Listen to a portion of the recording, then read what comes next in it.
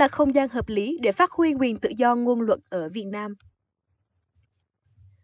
Để kỷ niệm Ngày Tự do Báo chí Thế giới ngày 3 tháng 5 và ngày Nguyễn Hữu Vinh ra tù ngày 5 tháng 5 năm 2019, Đài BBC Tiếng Việt đã tổ chức một buổi tọa đàm về vấn đề tự do báo chí ở Việt Nam.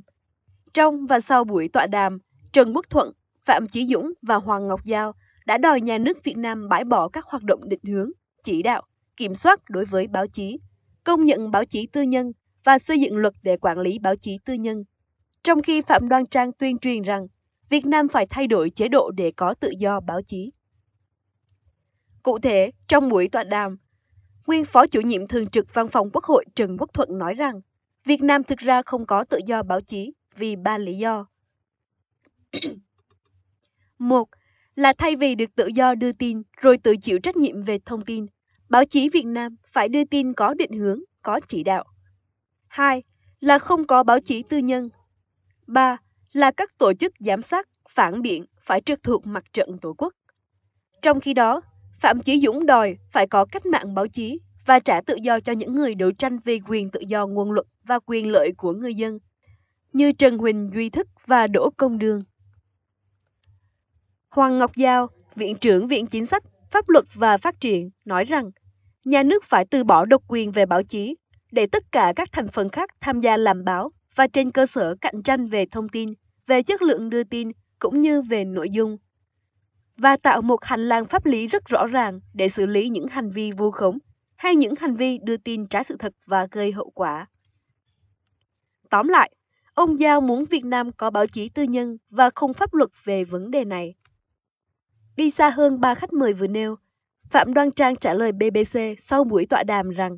chừng nào Việt Nam còn chế độ độc đảng thì chưa có tự do báo chí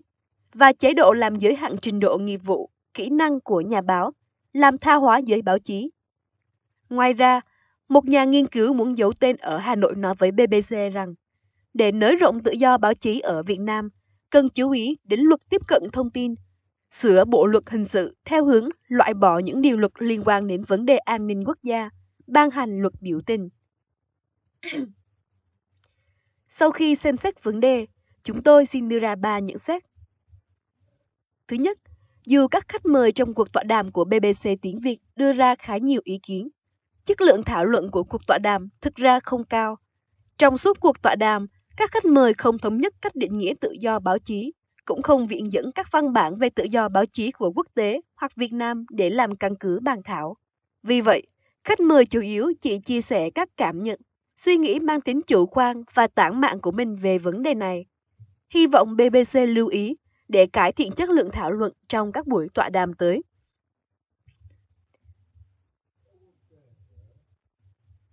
Thứ hai, giả sử khách mời của BBC chịu trích dẫn các văn bản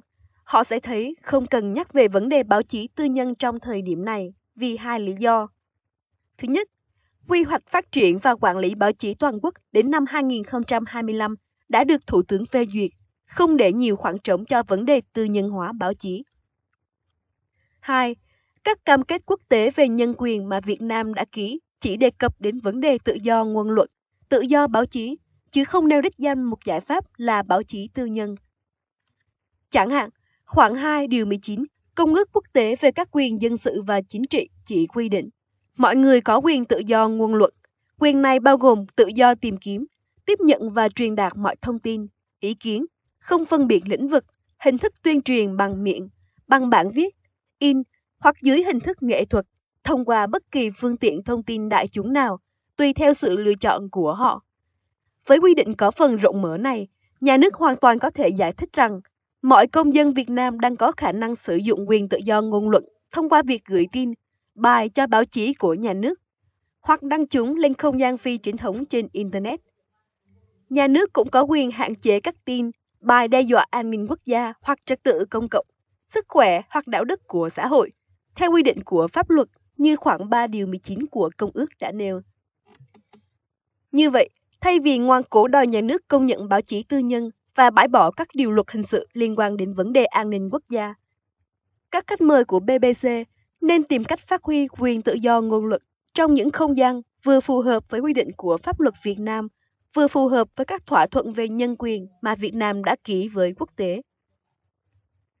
Thứ ba, một số khách mời và nội dung xuất hiện trong buổi tọa đàm của BBC hơi thiếu sức thuyết phục với độc giả. Một buổi thảo luận về báo chí không nên có sự hiện diện của Phạm Chí Dũng và Phạm Đoan Trang. Trừ khi các tờ báo mở thêm một chửi bới mỗi ngày cho Trang và một bói toán cho Dũng. Việc Dũng đòi thả Trần Huỳnh Duy Thức nhân danh quyền tự do báo chí cũng không hợp lý. Vì Thức bị bắt vì tội hoạt động nhằm lật đổ chính quyền, chứ không phải vì hoạt động báo chí. Sóng truyền thông